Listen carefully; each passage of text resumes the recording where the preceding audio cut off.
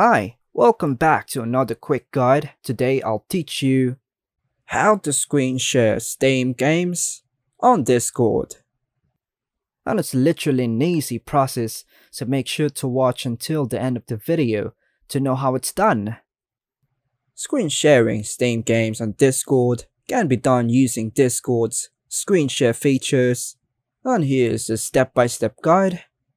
To begin, it's necessary to adjust a setting for optimal functionality. Start by ensuring that your Steam application is open. Once within the settings, scroll down to locate the registered games section. If you don't find Steam listed among the audit games, you have to click here to audit. Once this toggle is enabled, you can move on to the next step. Step 1. Launch the Discord application on your PC. Step 2. Initiate a voice or video call with a friend you want to share your screen with. You can do this by joining a server, creating a direct message, or starting a group call. So just follow my prompts. Step 3. While on the call, look for the screen share icon which typically looks like a computer monitor.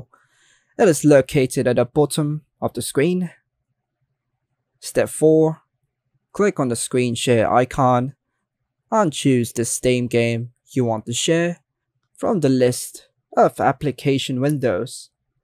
Make sure your game is running. Step 5. Click on Go Live or Share to start sharing your screen with the selected application window. And now, your friends should be able to see your Steam game while you play.